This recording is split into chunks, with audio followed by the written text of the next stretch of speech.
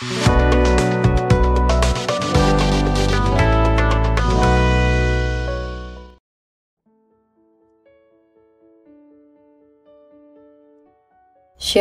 dan selamat pagi Bapak Ibu, saudara-saudari terkasih dalam Yesus Kristus. Kembali lagi kita dalam rehat Renungan Harian Toraya edisi Kamis 22 Agustus 2024. Sebelum masuk dalam renungan pada pagi hari ini, mari kita berdoa. Bapa kami yang di surga, kembali kami mengucap syukur padamu Engkau telah memeliharakan dan menyertai kami dalam istirahat kami semalam. Dan pagi ini kami akan memulai aktivitas kami sepanjang hari ini. Kiranya senantiasa dalam penyertaan-Mu. Sebelum kami memulai aktivitas kami, kami akan mendengarkan firman-Mu. Berkati kami untuk merenungkan firman-Mu pada pagi hari ini. Bersabdalah ya Tuhan, kami siap mendengarnya. Dalam nama Tuhan Yesus kami berdoa. Amin.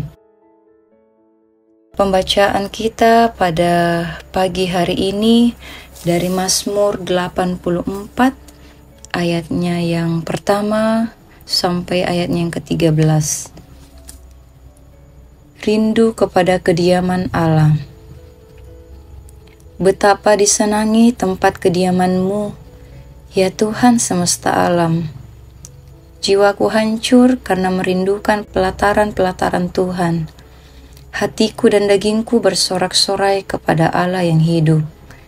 Bahkan burung pipit telah mendapat sebuah rumah dan burung layang-layang sebuah sarang, tempat menaruh anak-anaknya pada mesbah-mesbahmu Ya Tuhan semesta alam, ya Rajaku dan Allahku, berbahagialah orang yang diam di dalam rumahmu, yang terus-menerus memuji-muji Engkau. Berbahagialah manusia yang kekuatannya di dalam Engkau, yang berhasrat mengadakan ziarah.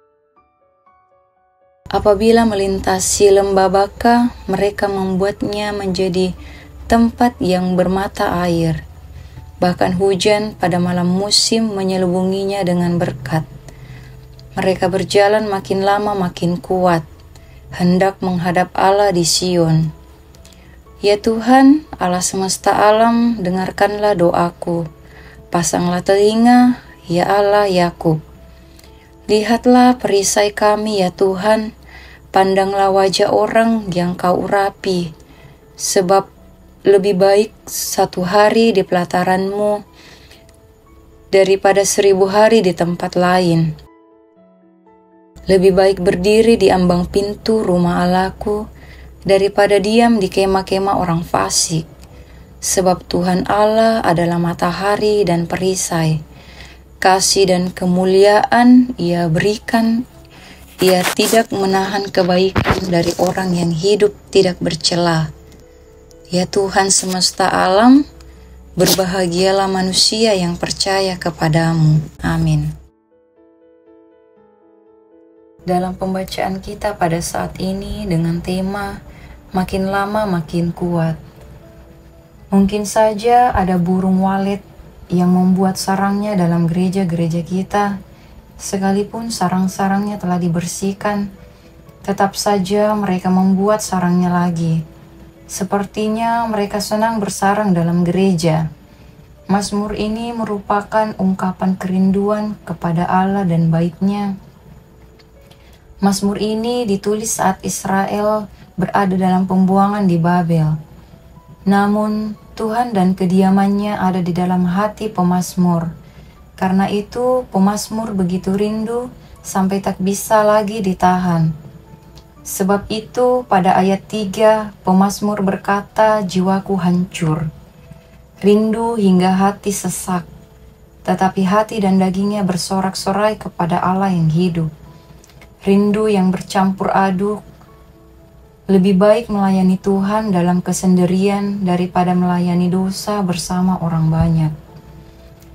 Pemazmur menyebutkan bahwa orang yang diam di rumah Tuhan yang merindukan Tuhan dengan sungguh yang hatinya berpaut pada Tuhan, yang ada dalam persekutuan dengan Tuhan, adalah orang-orang yang berbahagia. Mereka akan mendapat kekuatan dalam kehidupannya. Bahkan melintasi lembah baka bukan lagi tempat yang menakutkan dan mengkhawatirkan. Lembah baka adalah lembah air mata dan merupakan ekspresi kesedihan, kekeringan, dan duka. Orang benar menaruh hati pada Tuhan dan merindukan rumahnya. Menaruh Tuhan dalam setiap tujuan yang ingin dicapai. Hidup bagaikan siara, perjalanan yang panjang membutuhkan kekuatan bukan saja fisik tetapi rohani. Orang yang senantiasa menaruh Tuhan dalam hatinya akan memperoleh berkat kekuatan dan penghiburan. Sehingga perjalanan ini bukan lagi perjalanan yang mengkhawatirkan. Percayalah orang yang berjalan bersama Tuhan tidak akan lemah, tetapi makin lama makin kuat. Amin. Mari kita berdoa. Tuhan kami Yesus Kristus, Terima kasih atas berkat-Mu pada pagi hari ini. Kami telah mendengarkan firman-Mu. Kiranya firman-Mu boleh menjadi sulu dan pedoman dalam kehidupan kami. Ya Tuhan, kiranya Engkau memberkati kami dalam setiap aktivitas, pekerjaan, pendidikan, serta apa pun yang kami lakukan sepanjang hari ini.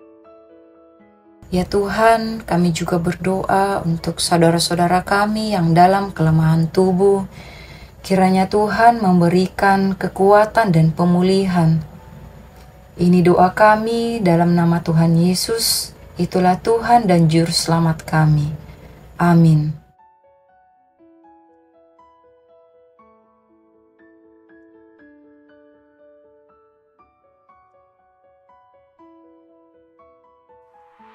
Yeah.